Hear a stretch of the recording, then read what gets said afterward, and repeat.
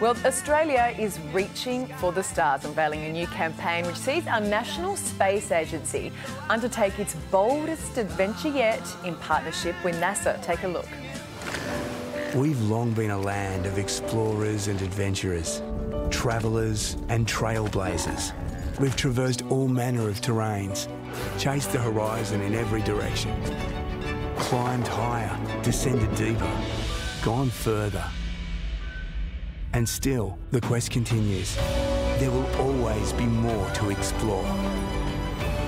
So, where to from here? We say, bring on the beyond. Our boldest adventure yet. Australia, we're going to the moon.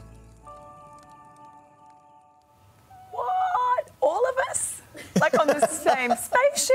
I mean, we need a lot more detail. Well, this is what this project's about. to discuss, let's bring in the head of the Australian Space Agency, Enrico Palermo, who joins us from Colorado, of all places, in the United States. Enrico, we're saying g'day to the moon. Tell us about this historic mission. G'day and good morning. Yeah, this is a historic mission. It is Australia embarking on its first lunar mission. Uh, we're going to build and design here in Australia uh, a rover that's going to do a pretty important mission for NASA on the moon in the years to come. I mean, this this is pretty cool. Um, that you know, I mean, we're sort of really not you know central to the space race, obviously in Australia. But the fact that we're building this rover, so it's going to be Aussie made. When is it actually going to land on the moon, and what is it going to do? So we're targeting to launch the rover with NASA, who's going to fly it to the moon in 2026.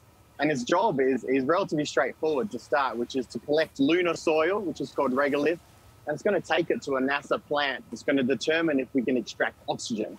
And if we extract oxygen, we can just have that sustainable presence uh, for humans uh, on the moon.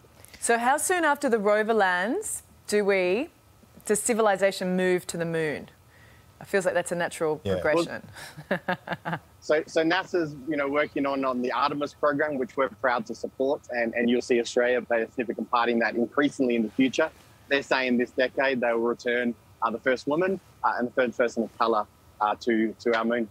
Because if it keeps raining in Sydney, we may need to go a little sooner, but that's something for everyone to have trouble with. The government's announced our first ever national space mission. It comes with a, a pretty decent price tag, $1.2 billion. It's a lot of money. Is there still a purpose in going to the moon given that uh, the Yanks got there more than 50 years ago? Uh, there's definitely a purpose to go to the moon. There's a purpose to invest uh, in this satellite mission. This is an investment in our planet, uh, in looking after our planet, in understanding our planet. Uh, so particularly for the satellite mission, uh, you know, we rely on satellites every day to know, you know, are you going to wear a jacket? Are you going to wear a t-shirt? navigate around our cities. And really, by establishing our national mission, this is Australia moving from purely a consumer of space technology to an international contributor, which is just remarkable and an exciting and historic moment. I mean, how cool is space, huh? Um, Enrique, I mean, where, are you this morning? What are you up to? So I'm in uh, Colorado Springs in Colorado, probably the world's largest uh, space symposium. So there's 10,000 attendees here, and I'm standing in uh, the Australia booth. We have a large presence here, here this year, about 40 Australian companies and really, the message we are sending is that space is truly alive and ignited in Australia. It's a priority from the government with its investment uh, in the national mission, for example, um, but really uh, making sure we use space technologies uh, to improve the lives of all Australians is, a big part of our mission. Now, JFK famously predicted that they'd put man on the moon within the decade back in 19, the early 1960s. Now's the time for you to step up and make your JFK statement. How long until we have a plugger, a thong on the moon of an Australian?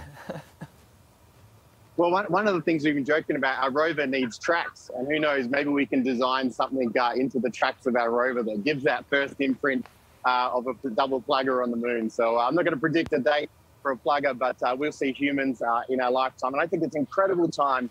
Uh, a, a, space career in Australia is totally plausible. Whether you're a child, you're going through high school, university, or a professional, um, space careers are real. Australia is increasingly becoming a spacefaring nation with the purpose to improve life here on Earth. Enrico, we appreciate your time this morning. Would have liked a date, but you know, the next best thing.